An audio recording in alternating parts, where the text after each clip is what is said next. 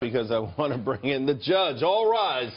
judge Andrew Napolitano, I know you don't agree with the things that were said, but you think Colbert has the right to say them? Oh, absolutely. I mean, this is satire. The, the, the, uh, uh, Is it broad, always satire if someone says, I'm a comedian?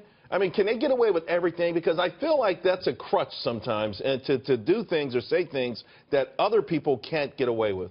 You can get away with almost anything in satire, even that which is obviously uh, untrue. He's not portraying it to be truthful. He's portraying it to try and make you laugh. I thought it was boring. It didn't make me laugh, but that's just me. And of course, I was asleep when it was on. I had to watch the next day, like uh, like the rest of us. But but this this is uh, this is what he does for a living.